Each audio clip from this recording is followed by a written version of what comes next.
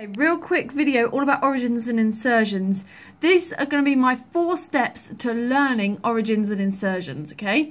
First big tip before I get started is allow yourself time so that you can do this for every single one of the muscles that you need to remember ready for your exam.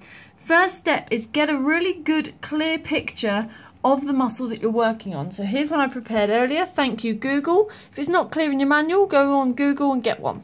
You want to be able to see where the origin of uh, origin is. So that's this part here, the one closest to the midline, closest to the heart.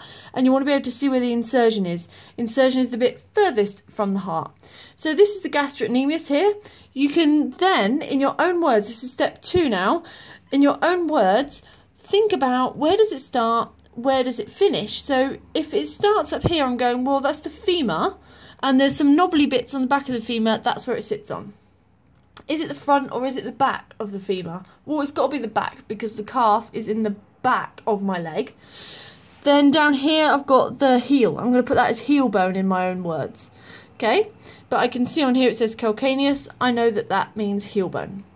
So, and that's on the top of the calcaneus. It's not on the bottom of the calcaneus, it's on the top. So really what I find people probably um, suffer with in relation to the learning their origins and insertions is because they don't look in enough detail. So really look in detail, but put it in your own words, okay? So I'm going to say originates femur, back of it on the bobbly bits, and then inserts down on the top of the heel. Now I'm going to go and then check my notes, so this will be then in my manual, and I check my notes. So once I've worked out my own words, I check the notes to confirm. And then as I confirm that, that should then tell me what it is in the speak that they want to hear it. So it might then just say posterior of the femoral condyles as a way of originating. Well, I've said that just in different speak, so I've just got to translate what I already know. It's less confusing because you know it in your head, you've just got to link it now. Same with the calcaneus, it might say superior part of the calcaneus as the insertion. Now again, that sounds really long and wordy, but if you know it in your terms, it makes it much easier to be able to understand. So then you can then go and memorize the picture. So you bring the picture back.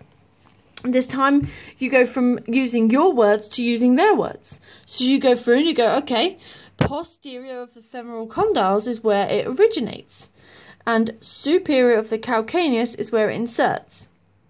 Sorted. That's basically as easy as it is.